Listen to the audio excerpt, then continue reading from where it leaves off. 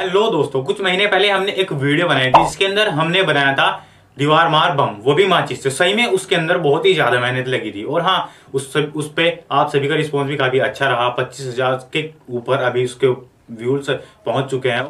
और भाई, मेरे दिमाग में एक आइडिया आया कि हम दीवार मार बम को दोबारा से बनाए पर कुछ और तरीके से। तो हमने आज की वीडियो में गंधक और पोटास से दीवार मार बम को बनाया है। पहले मैंने इस चीज़ को ट्राई कर लिया था और सच में काफ़ी खतरनाक तरीके से बनाया और इसमें हमने दो तरीके के बम बनाए एक तो हमने पन्नी के पन्नी के साथ बनाया यानी पोलोथीन के, और एक बनाया कपड़े के। और भाई, जो कपड़े वाला बॉम है, वो सही में काफ़ी डेंजर है, काफ़ी खतरनाक तरीके से पड़ता है। अगर आप भी इस चीज़ को ट्राई करें तो भाई, मेरे हिसाब से पहले पन्नी वाला बना के उसके ऊपर अच्छी तरीके से टाइट करके कपड़ा लपेट ले। और आगे आपको वीडियो में डिटेल में मिल जाएगा कैसे हमने इस बम को तैयार किया है। और आपने इसका साउंड सुन लिया होगा, इसका साउंड कितना पावरफुल है, ठीक है? दोस्तों, आपसे एक ही रिक्वेस्ट है, वीडियो को शुरू से लेके एंड तक ज़रूर देखना। और चैनल को सब्सक्राइब कर लेना, वीडियो को लाइक कर लेना। और चलिए वीडियो को अब स्टार्ट करते हैं। ये बहुत खतरनाक है, आप ऐसा कुछ घर पे ट्राई करने की कोशिश मत कीजिएगा। तो दीवार बम बनाने के लिए ज़रूरत पड़ेगी हमें गंधक और पोटास की, सबसे नंबर वन। तो भाई ये है गंधक और ये है पोटास। और भाई कुछ छोटी ऐसी पत्थर की या फिर बजरियाँ आप इन्हें बोल सकते हैं। और भाई एक किसी भी पन्नी की, यानी पोलोथीन की, ठीक है। तो चलिए इसे बनाना स्टार्ट करते हैं। सबसे पहले हमें गंधक पोटास लेना होगा। तो गंधक पोटास हमें लगभग 50 परसेंट रेशियो इसका मतलब 50 परसेंट इन दोनों का मिश्रण हमें करना होगा। तो लगभग आप देख सकते हैं मैं यहाँ पर एक चम्मच लगभग मैंने पोटास की ले ली है और इसे हमें बारीक पीसना होगा।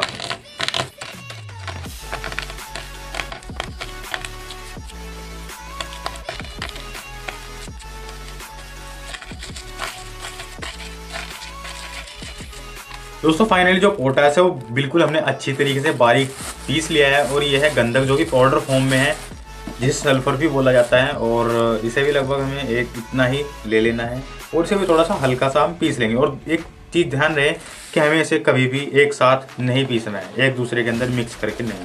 क्योंकि ये बहुत ज़्यादा खतरनाक है हल्की सी भी रगड़ पर ये जल जाएगा।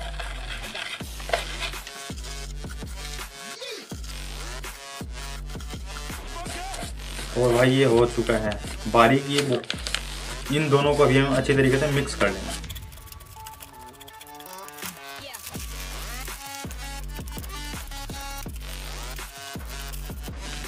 और भाई ये हो चुका है बिल्कुल अच्छी तरीके से मिक्स अभी हम इसे साइड में कर देंगे।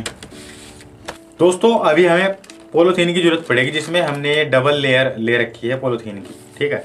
और इसके ऊपर हम इन छोटे पत्थरों को एक साइड एक साइड में ऐसे इकट्ठा करके रख देंगे। और इसके ऊपर अभी हमें लगभग एक चम्मच इतना ये मिश्रण डाल देना है। थोड़ा सा और डाल देंगे इसके ऊपर। ये मिश्रण इसके ऊपर डाल देना है कुछ ऐसे। और भाई, इसे हमें ऐसे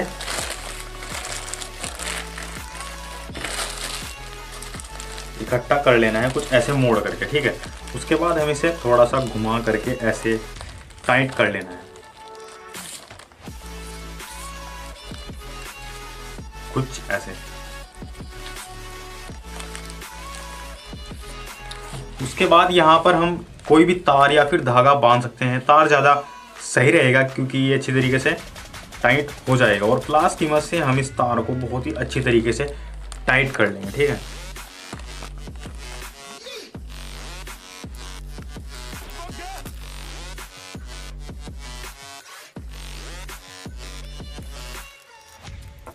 दोस्तों, यहाँ पर हमेशा बिल्कुल अच्छी तरीके से टाइट रखना है, जैसे ये है। बिल्कुल एकदम टाइट है।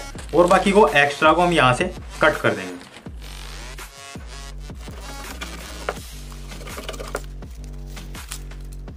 और भाई, ये तैयार है हमारा गंधक पोटास वाला धरती मार बम। जिस धरती मार बम बोलते हैं, वैसे ये दीवार मार बम भी बोला जाता है ऐसे कई जगहों। और अभी हम इसे जैसे ही कहीं फेंक करके मारेंगे तो ये एकदम से फटेगा। और इसे और अच्छा बनाने के लिए या फिर और पावरफुल बनाने के लिए हमें इसके ऊपर बहुत ही टाइट तरीके से एक किसी कपड़े को लपेट सकते हैं, जिससे कि और भी ज़्यादा पावरफुल हो जाएगा। दोस्तों फाइनली हमने जो दीवार बम को तैयार किया है, वो तीन है और एक के ऊपर हमने कपड़े को भी लपेट दिया है और इसे तार की मदद से बाँध दिया है। अब इसकी टेस्टिंग करके देखते हैं ये कैसे फटता है।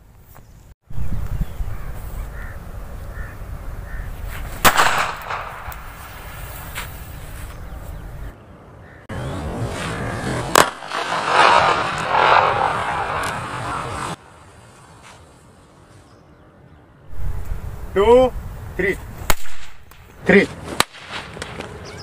दोस्तों, अभी है जो बॉम है हमारे पास लास्ट वाला बचा है, जिसके ऊपर हमने कपड़े को भी लपेट रखा है।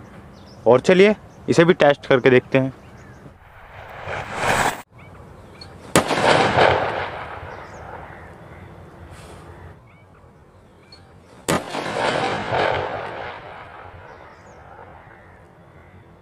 दोस्तों, जो लास्ट वाला था, कपड़े वाला, वो काफ़ी तेज साउंड से फटा है यानी कि जो हमने पहले तैयार किए थे, उससे डबल तिबल साउंड था उसका।